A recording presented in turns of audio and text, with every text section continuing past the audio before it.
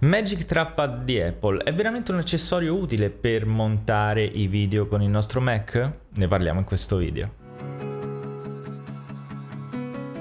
Innanzitutto rispondiamo a una delle domande che in molti si fanno, ovvero ma che differenza c'è tra la lavagnetta bianca e quella grigia siderale? Forse il peso? Il touch o la grandezza della lavagnetta? No, semplicemente il colore, cosa che a mio parere non giustifica la differenza di prezzo. Sì, magari grigio siderale può sembrare più professionale o se hai dei dispositivi Apple di colore grigio siderale sicuramente si abbineranno meglio, ma onestamente questa è semplicemente una questione estetica, quindi a livello di utilizzo una vale l'altra. Perché l'ho ordinata? Perché ero curioso di vedere come rispondeva in fase di montaggio video e soprattutto perché volevo compararla con il Magic Mouse che ormai utilizzo da anni. Avendola provata per circa un mese posso dirti che sì, è uno strumento veramente valido, ma forse non è indirizzata a quella categoria di persone, professionisti e non, che hanno l'esigenza di montare i propri video con il Mac o con iPad. In tantissime situazioni, specialmente quando mi ritrovavo a fare lavori di precisione come il taglio di una clip oppure l'accoppiamento di una traccia audio a una pista video, ho ritenuto opportuno di sconnettere la lavagnetta e ricollegare il Magic Mouse, proprio per un discorso di precisione. Questo non vuol dire che non sia valida al 100%, è compatibile con l'iPad sia Air che Pro, oltre che con il Mac, già questo è un valore aggiunto. Puoi utilizzare ovviamente la lavagnetta di Apple per montare i video. È anche facile da configurare perché basta spingere il pulsantino, l'interruttore che si trova dietro la lavagnetta ed abbinarlo al dispositivo con il quale intendi utilizzarlo tramite Bluetooth. Solo che è giusto che tu sappia che ci metterai e ci impiegherai molto più tempo per i lavori di precisione rispetto a un Magic Mouse che anch'esso è compatibile sia con iPad che con Mac.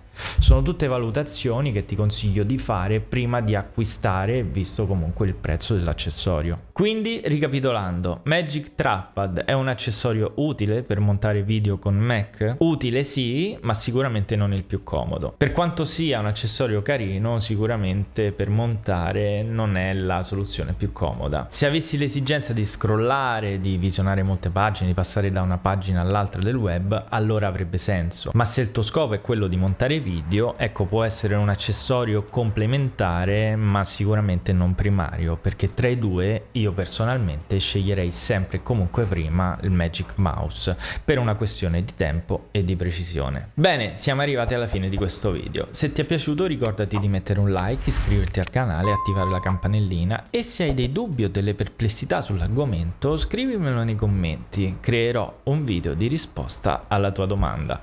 A presto!